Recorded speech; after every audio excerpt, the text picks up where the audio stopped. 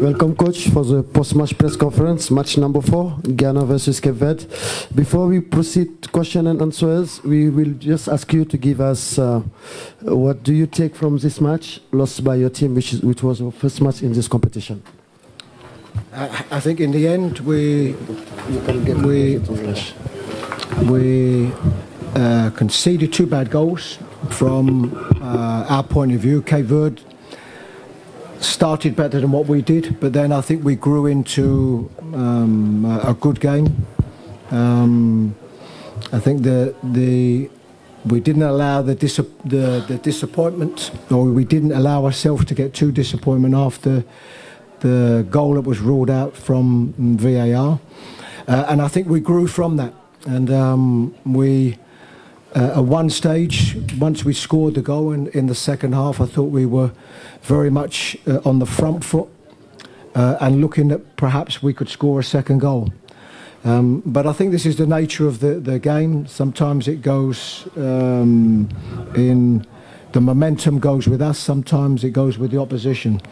Um, but you can't concede the type of goal that we did in the last moments of the game, particularly at this stage, because at that stage you're pushing to to get the winner. Um, but at this stage, what you can't do is you can't afford to lose the game, and um, and we conceded a very poor goal, and uh, uh, hence a hugely disappointing night for us. Thank you, coach. Okay, go ahead, sir. Hello, coach. My name is Ibrahim, media personnel from Ghana. Coach, since you took over the reign as the coach of the Black Stars, because of the pedigree that you came in with the job, being coaching in the Premier League, a lot of Ghanaians had hope that you were going to change their fortunes and make them very happy and Sir, make them can you just please go straight to yes, the question? Yes, but a lot of Ghanaians are heartbroken and we're going to work tomorrow heartbroken. What do you have to tell Ghanaians after so pretending on this humiliation, humiliation defeat? Thank you. Um, the if you're asking me what what I say to the Ghanaians is is exactly what I'll say to anybody. We are incredibly, hugely disappointed with with the result. We came into the game um, uh, with a game plan. We changed the uh, way of playing, the system. Um, uh, a bit so so that we could start on the front foot.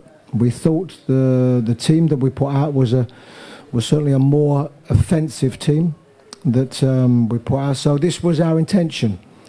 Um, I think it, it rocked us th- the goal that we conceded. Um, but I thought we got back into the game, and at that, at that stage, it looked like we could go on and win it. Um, we are hugely, hugely disappointed with the the result, and I know this group of players also know how our public, uh, the Ghanaian people, see this game, see this tournament, and um, and our expectations going into this one. And it's one that uh, I say it's, it's, de- it's a defeat that we're hugely disappointed with. Here, ici, de- oh, derrière. Voilà, en short rouge. Continue, continue, vas-y. Hello, Coach. I'm Ken Halid, uh, Ken CVGH from Ghana. Uh, you just lost to Aminos in African football, uh, the Blue Sharks of Cape Verde. They have been to the African Cup of Nations. This is their fourth occasion. You lost to them. How do you plan to bounce back from this defeat?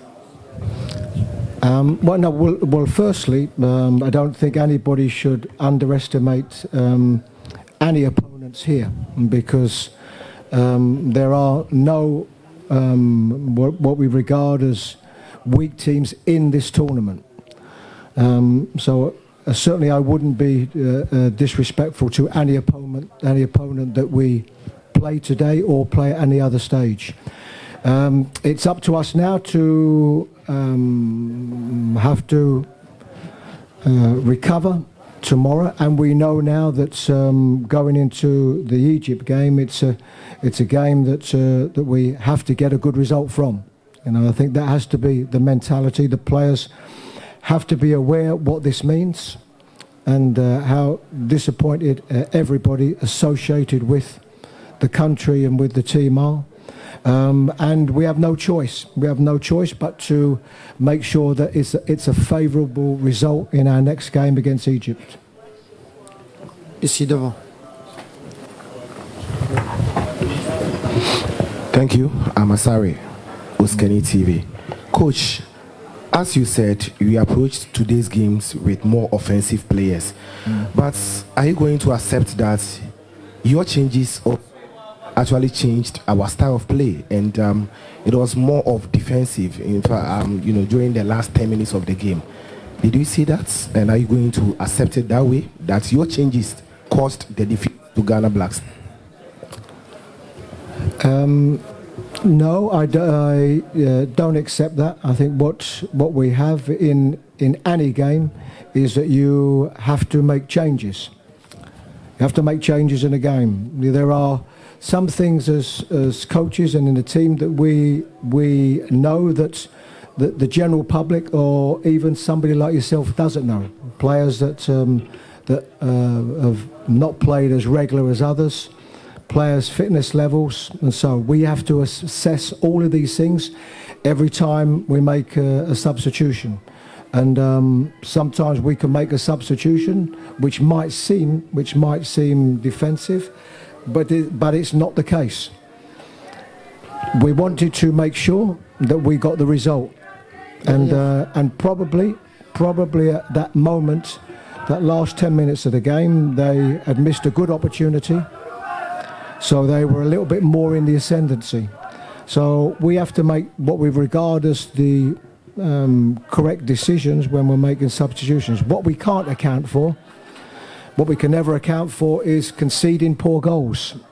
And, uh, and I think when we assess the, their second goal, very close to the end of the game, and when we analyse it, it's, it's an incredibly poor goal to concede. And um, what we can't be accountable for is, is individual mistakes.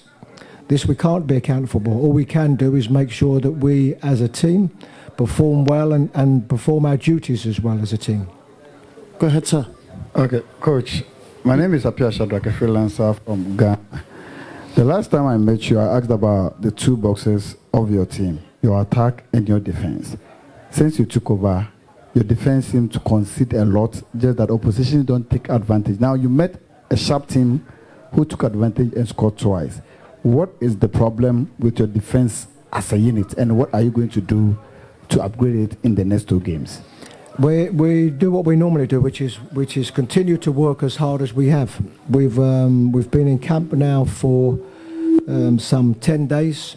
We've worked uh, very hard in camp, and uh, and all you can do is as a, a coach is is uh, make sure that the training is well. Make sure you get all the principles over to the team that you want to uh, and what you need to. And um, this is what we've done over a period of time. The, the camp has been good. Of course, it's all about the games that we play and the results that we get. And you are judged. You are judged on the results that you have. You know, what we do as coaches, we will analyse the games, our game today, and determine where we did well and where we didn't do so well. Um, but um, what we have been guilty of today is, I think, conceding two very poor defensive goals. And, uh, you know, all we can always do is just to continue to work on the, the discipline, the shape, um, the determination of the team. This is all we can ever do. This was the last uh, question. So thank you, Coach uh, okay. Chris Hughton. Thank you also to you guys, and thank you for the translators, and see you next time. Thanks. Okay.